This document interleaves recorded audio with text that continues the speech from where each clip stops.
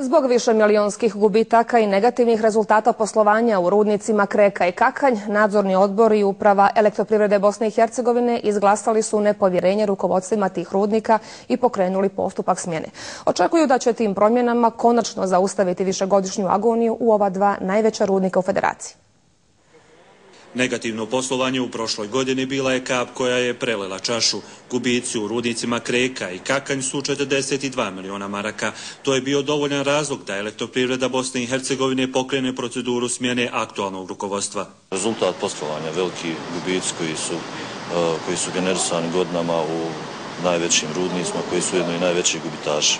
E, kada očekujete konkretnu provedbu dakle, tog naloga? Pa to sad ići će zakonskom procedurom, jel?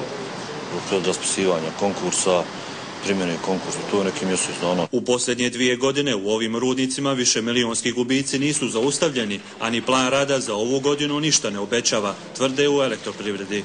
Nema nekih pomaka. A do jula ova dva rudnika bi trebala dobiti novo rukovodstvo.